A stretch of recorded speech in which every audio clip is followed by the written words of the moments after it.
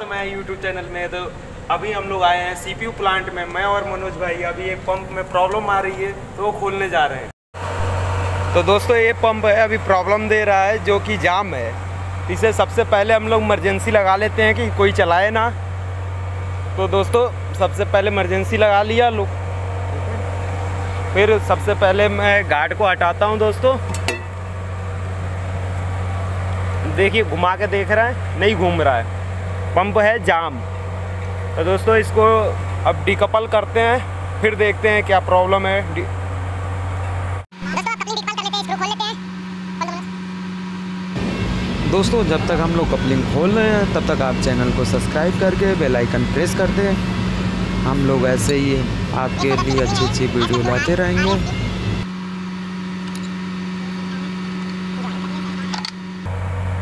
तो हमने डिकपल कर लिया है, अब पंप को खोलना शुरू करेंगे। तो सबसे पहले हम वाल बंद कर लेते हैं इसका। और फ्रेंड ये छोटा पंप है पीट वाला पंप है तो इसके लिए इसे डिप्रेशराइज करने की ज़रूरत नहीं है।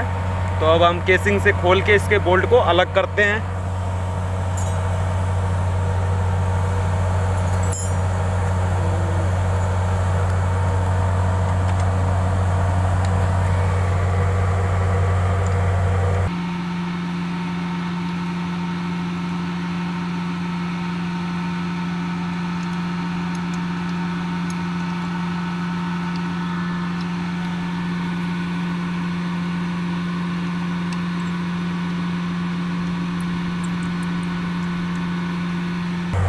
फ्रंट केसिंग खोल ली है, अब लेग भी खोलना होता है तो लेग भी ढीला कर लेते हैं इसको।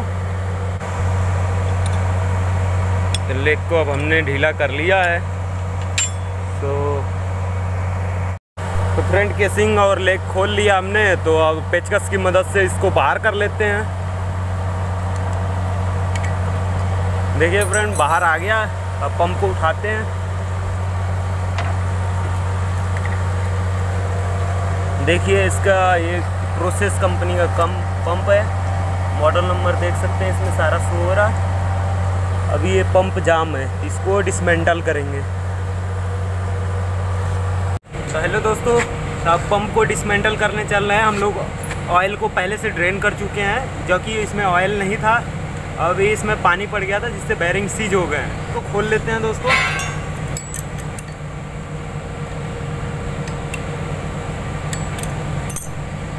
एम्पेलर को खोल लिए।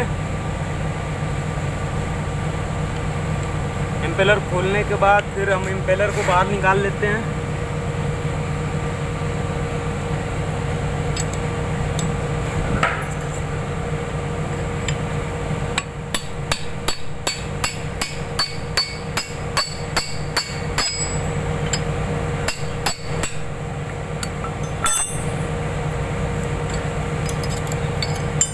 अभी इम्पेलर निकाल लिए दोस्तों। इसकी चाबी निकाल लिए। देखिए सेमी ओपन इम्पेलर है ये।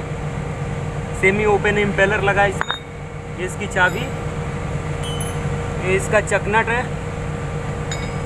अब इसको निकालेंगे स्टेपिंग बॉक्स को निकालेंगे इसका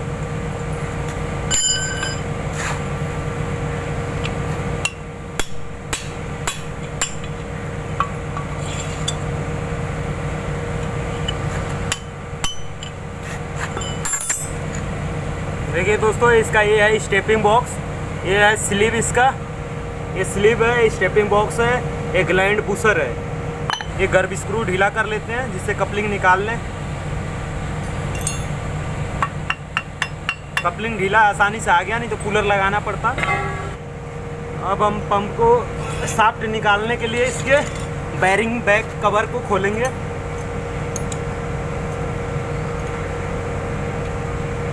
जो आठ का बोल्ट लगा है इसमें।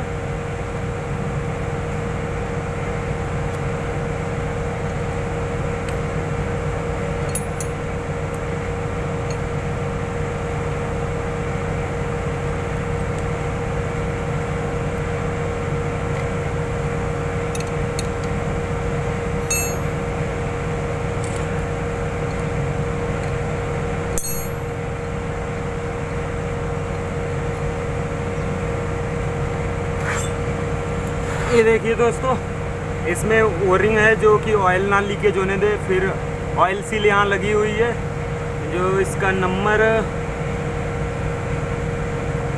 बीस अड़तीस दस है।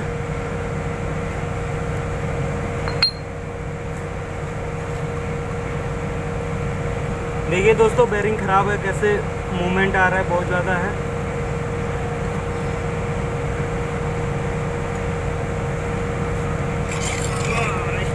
अब इस साइड का खोल लेते हैं प्लेट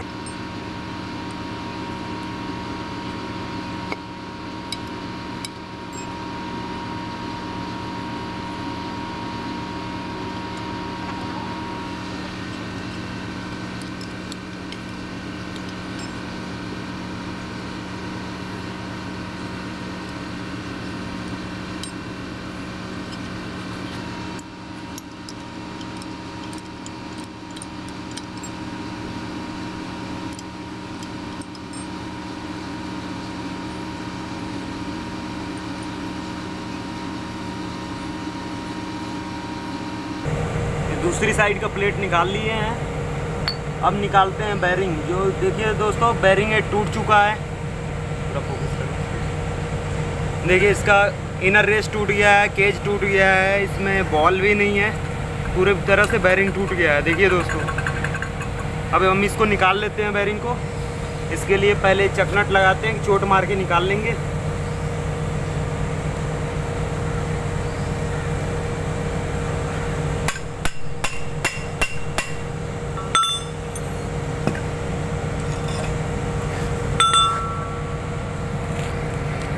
बैरिंग को निकालना है दोस्तों।